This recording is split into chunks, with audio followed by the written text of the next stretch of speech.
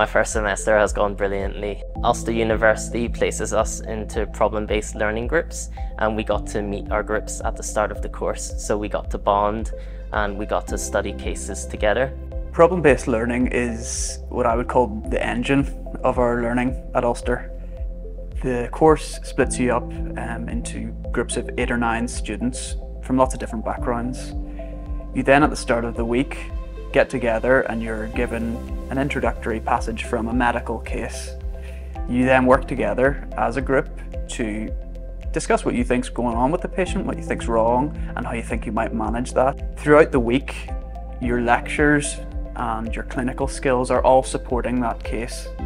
Um, and as the week progresses, you're building your knowledge and your skills around that particular area of medicine so that by the end of the week, you get back together with your group and you're much more informed and much more prepared to deal with that condition. And whatever your conditions are in PBL, the practical skills will be matching. So if it's a cardio medical case, it will be a cardio exam and so on and so forth.